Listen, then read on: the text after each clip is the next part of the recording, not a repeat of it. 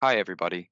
Today I'm going to show you how to use Quandela's photonic QPUs and simulators to run your own quantum algorithms through the cloud. I'm going to walk you through this process in four easy steps. Step 1. Creating a token. To start using Quandela Cloud and running jobs on Quandela's QPUs or noisy simulators, you first need to create a connection token that you will use to validate your request to the cloud. So first, connect to your Quandela Cloud personal space using your login credentials. That will bring you to this page.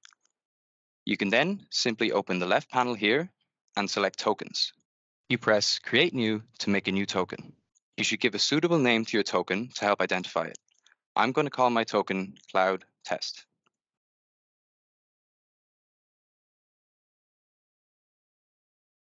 Step 2. Assign permissions to your token. Navigate to the Tokens tab, and by clicking on the eye symbol, you can see detailed information assigned to each token. Open the Permissions tab, and here you can select the platforms that are available for use. You can select the QPUs or simulators that you are interested in using. You can move them over to the Usable Platforms tile. For convenience, I've selected them all. Make sure to save this choice. Okay, now your token has been given permission to use Quandela's cloud servers and is ready for use. Step 3. Import your token to a Jupyter notebook. Now we need to import our token into our Python compiler. Then it's ready for use on our quantum programs. First, you copy your unique token, and it can then be posted into your notebook. I'm using a Jupyter notebook here, which I would recommend, but you can use any type of Python compiler that you like.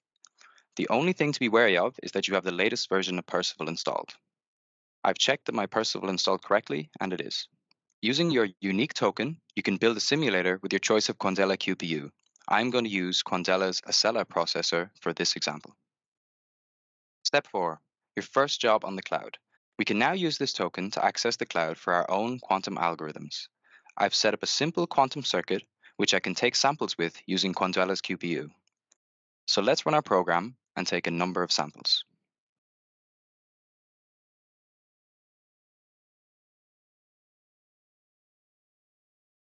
We can go back to the Quandela homepage and check the process of our job.